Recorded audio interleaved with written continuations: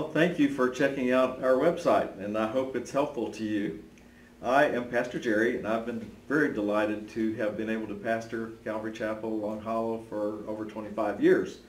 Uh, we have a wonderful gathering of individuals who love the Lord, they love each other, and they love God's Word. One of the things that's very important to us here at Calvary Chapel is the teaching of God's Word in a way that people can understand it, in a way that they can apply it to their daily lives. And we do that teaching verse by verse.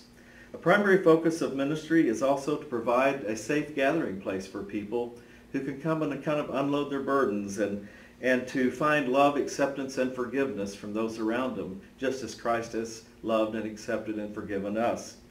Uh, it is important for us each week to that the spiritual fellowship that we share one with another is a, a, fellowship that gives us a sense of refreshing as we go back out into the world and deal with the difficulties of this world so that we're refreshed and ready to go. And so I hope that uh, you will come and visit us sometime and, and experience that for yourself. God bless you.